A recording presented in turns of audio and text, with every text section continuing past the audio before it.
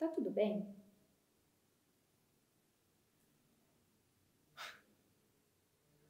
Tá tudo bem. Tá tudo ótimo. Sabe a minha irmã?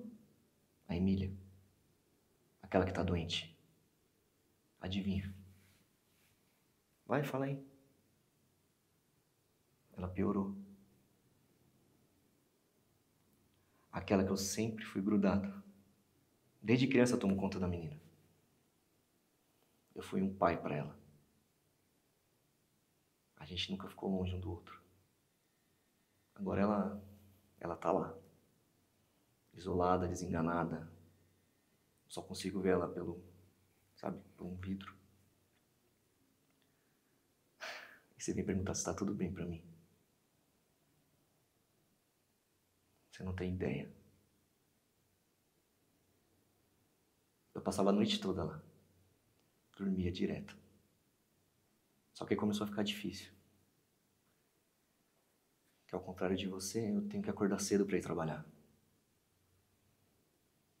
E lá não descanso, entendeu? Eu nem lembro a última vez que eu dormi direito na minha vida. E o enfermeiro? que entra com remédio para dar para a menina. O remédio que eu estou pagando até hoje. Tem quantas parcelas ainda? Eu nem sei. E adiantou do quê? De nada. Não, e o sofá? O sofá é lindo, é maravilhoso. Você tem que ver. Vamos lá um dia.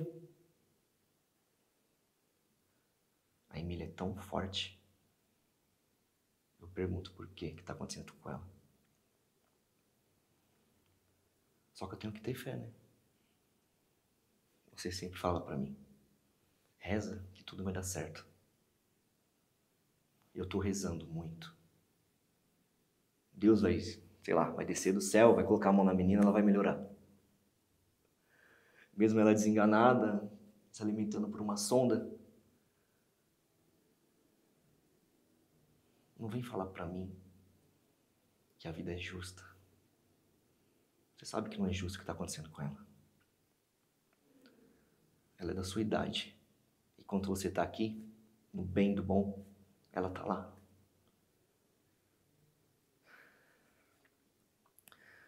Só que eu tenho que ser forte, né? Eu vou ser forte, eu vou continuar, vou rezar para Deus. Que tudo tem um, um porquê. Você me conhece quanto tempo? Você soubesse como eu tô, você não ia perguntar para mim se tá tudo bem. Porque não tá.